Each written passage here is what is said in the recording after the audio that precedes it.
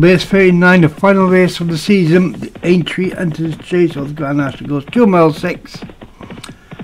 Martin Leedon's fourth form for Matt Cooper is the top one. The Martin Leedon Seven Towers trying to grab a joint champion.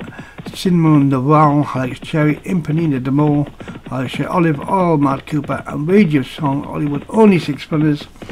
The final reason of the season I hope you had a good season and I'll see you again for next season. In May. Hopefully, I'll jump the first fence, fourth full perform. And Matt Cooper, top trainer at the moment on the 11, one ahead of Martin Leedon, who has one in this on seven towers. So Martin draw level. I'll jump the next, and I'll jump it safely. So Martin hoping to grab a win here and to finish trying top trainer with Matt Cooper. Whatever happens, Matt Cooper will be top trainer. He'll either be on his own or he'll be with Martin as joint trainer. Alex Cherry, good run back in third on eight. There's two in this swing out in the country, full circuit of the Grand National course ahead of them then, and fourth forceful perform. Two limbs clear seven towers. Inside is Empanina de Mall. Then comes Radio Song, Olive Oil. As one behind, and that one is Chanel Naval. Navalis, is it? I would I would say Navalis. And forceful perform on one to this fence which was the first in the Grand National weeks ago jumping it. And the horse will perform jumped it well. Seven towers is going well in second jumped this fence. Ambulance there. And track looks wonderful today. Nice of the season here in for Aintree. Summer just right around the corner. Forceful perform on the break on the jumpers. Forceful perform leads by a couple of lengths from Radio Song in second now. Jumping this fence and they're all jumping well. Oh, can be said in particular, the more forcible both fell out them out. Olive Oil has been known to fall as well.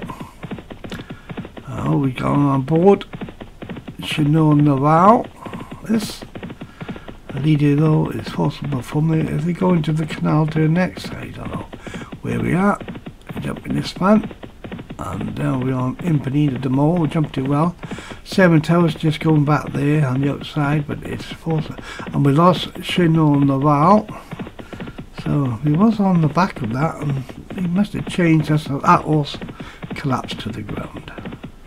And there we lost Oliver. I'm sorry if I jinxed that one because I mentioned it fell a couple of times. We jumped next, and Mark Cooper's down to one now and that also been passed by his main rival Martin Leedon Seven Towers who goes on by a length jumping this. And again that ooh, possible perform down on his neck there down on his nose. He looks to be struggling though. I get Seven Towers is 137 handicap hurdler so he has a bit of class. And uh, Seven Towers got radio song on the inside of Derek Hinton's. Top rated 100 mark on the enters, one ahead of 7099 rated, and these two, I think it might be between these two because Postal Performance ridden along strictly back in third, and Impanina Demo is out of sight. You might see from this angle now. So Seven Towers seems to be going well. And it's just two more fences for him to jump.